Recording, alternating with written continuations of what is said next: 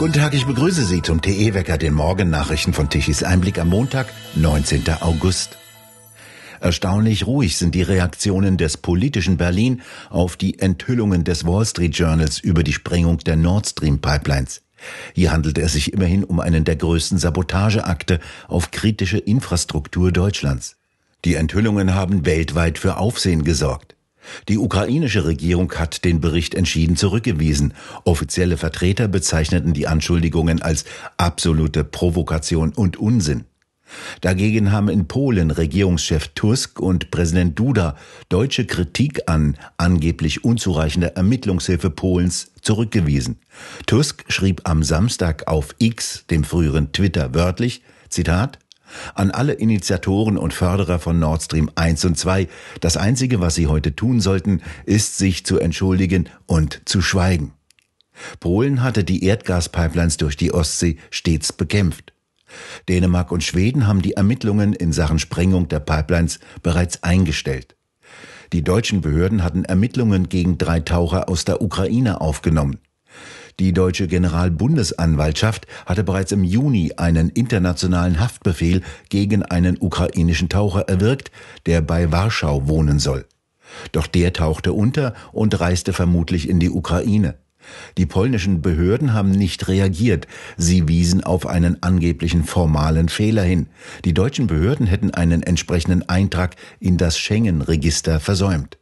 Sarah Wagenknecht forderte eine Überprüfung der deutschen Unterstützung für die Ukraine, falls sich die Anschuldigungen bestätigen sollten.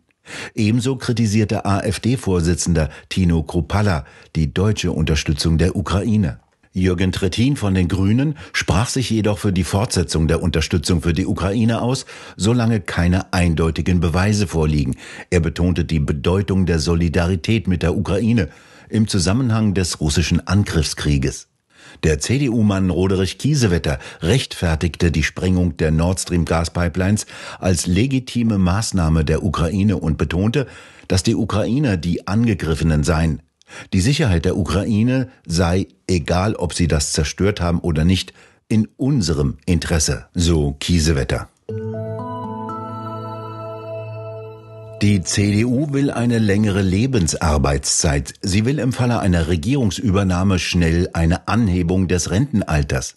Heute sollen sich die Vorsitzenden der CDU Mittelstandsvereinigung und die Sozialausschüsse mit dem Parteipräsidium der CDU treffen. Es werde auch im Regierungsprogramm wie im Grundsatzprogramm stehen müssen, dass wir die Regelsaltersgrenze an die Lebenserwartung anpassen, sagte die Vorsitzende der CDU Mittelstandsvereinigung Gitta Konnemann in einem Gespräch der Frankfurter Allgemeinen Sonntagszeitung.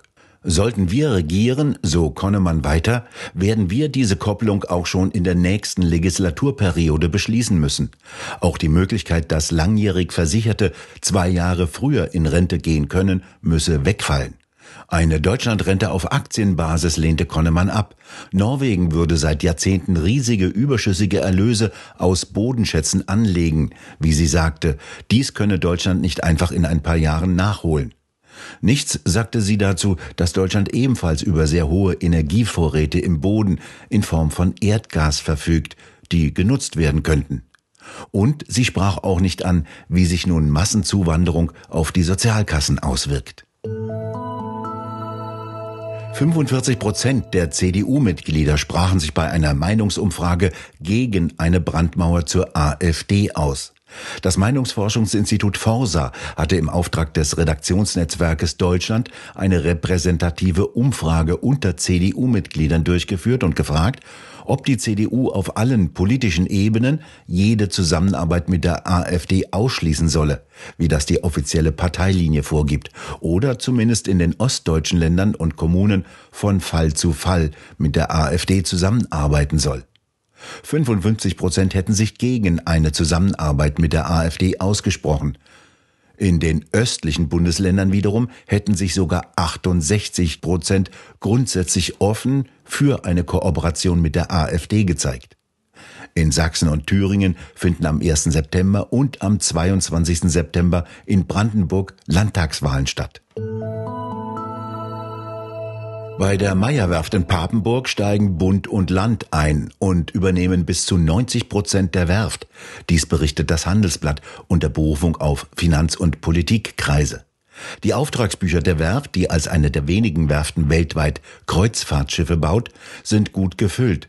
Das Unternehmen benötigt aber knapp 2,8 Milliarden Euro bis Ende 2027, um bestehende Aufträge abzuarbeiten. Bisher halfen die Anzahlungen bei Bestellungen für neue Schiffe. Damit konnte der Bau bereits bestehender Aufträge bezahlt werden. 80 Prozent des Preises werden üblicherweise nach Ablieferung bezahlt. Doch während der Corona-Pandemie kamen keine neuen Aufträge herein. Neue Kredite seien für Banken nur darstellbar, wenn das Eigenkapital aufgestockt werde.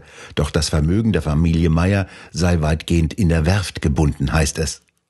Auch der Seniorchef der Werft, Bernhard Meyer, soll den Plänen zugestimmt haben, schweren Herzens, wie es das Handelsblatt reportiert.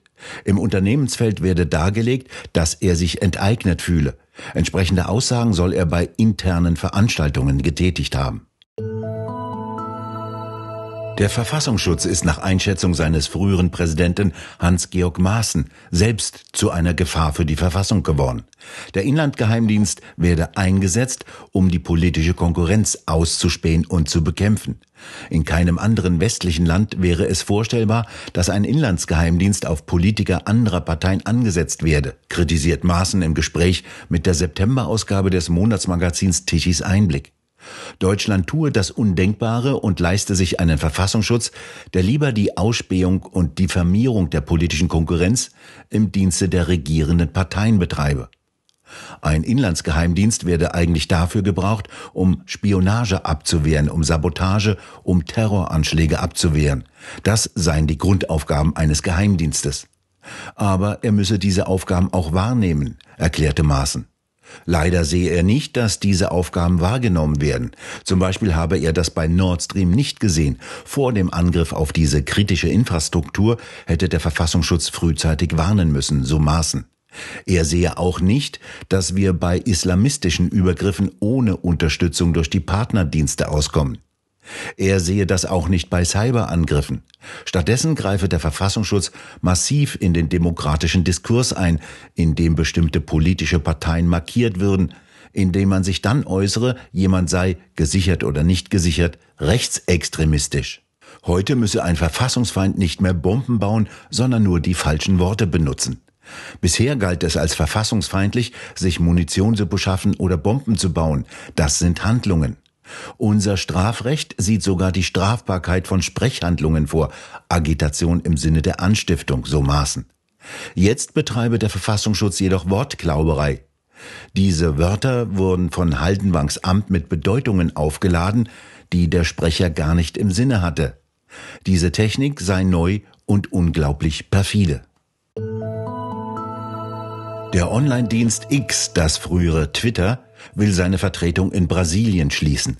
Ein Richter des obersten Gerichtshofes in Brasilien soll einem Unternehmensvertreter in Brasilien mit Verhaftung gedroht haben, sollte X den Zensuranordnungen nicht nachkommen und wenn nicht bestimmte Inhalte von der Plattform gelöscht würden. Elon Musk, der Besitzer von X, veröffentlichte ein Dokument, in dem mit Geldstrafe und Haftbefehl gedroht wird. Der Richter wollte von Elon Musk, dass bestimmte Inhalte und Konten von Nutzern gesperrt werden sollten. Diese Nutzer hätten angeblich während der Regierungszeit des früheren konservativen Präsidenten Bolsonaro sogenannte Hassbotschaften und Falschinformationen verbreitet. Musk bezeichnete diesen Vorgang als eine absolute Schande für die Justiz. Er wirft den Richtern Zensur vor und erklärt, dass X den geheimen Zensur- und privaten Informationsherausgabeforderungen des Richters nicht zustimmen könne. Ein Richter des obersten Gerichtes hatte bereits Anfang April Ermittlungen gegen X eingeleitet.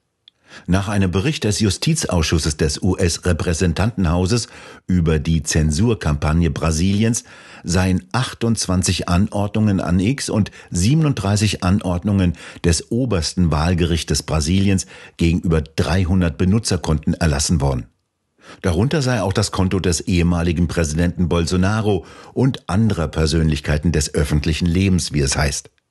Musk prophezeite, dass die Verfahren zu Umsatzeinbußen in Brasilien führen würden und betonte, dass Prinzipien wichtiger seien als Profit. Er empfahl später, dass Nutzer ein VPN, ein virtuelles privates Netzwerk benutzen sollten, wenn die Plattform X in Brasilien abgeschaltet werden sollte. Außerdem schrieb Musk, dass X alle Forderungen des Richters veröffentlichen würde, da sie gegen brasilianisches Recht verstoßen würden. Die Entscheidung, das X-Büro in Brasilien zu schließen, sei schwierig, so Musk. Aber wenn X der illegalen Geheimzensur und der Herausgabe privater Informationen zugestimmt hätte, hätte X das Handeln auf keinen Fall erklären können, ohne sich zu schämen. Heute beruhigt sich das Wetter weitgehend. Die schwülwarmen Luftmassen der vergangenen Tage sind vorbei. Die teilweise massiven Regenfälle von gestern sind in der Nacht weitgehend abgezogen und heute klart es sich meistens auf. Ein Wechsel zwischen Sonne und Wolken und es bleibt meist trocken. Die Temperaturen reichen von 20 bis 25 Grad. Und nun zum Energiewendewetterbericht von Tichys Einblick. Deutschland benötigte gestern Mittag um 12 Uhr eine elektrische Leistung von knapp 58 Gigawatt. Die konventionellen Kraftwerke lieferten 14 Gigawatt um 12 Uhr mittags. Die 30.000 Windräder im ganzen Lande lieferten lächerliche 1 Gigawatt an Leistung. Sie standen praktisch still. Es herrschte Flaute, wie auch in den vergangenen Tagen. Die mittlerweile 3,4 Millionen Photovoltaikanlagen konnten um 12 Uhr mittags nur 20 Gigawatt an Leistung liefern, mehr nicht. Der Himmel zeigte sich in den weiten Teilen Deutschlands bewölkt, immer wieder gingen Regenschauer nieder. Am Abend um 20 Uhr kam nichts mehr von den Photovoltaikanlagen, merkwürdigerweise. Der Wind belebte sich ein wenig und die Windräder lieferten knapp 9 Gigawatt an Leistung um 20 Uhr.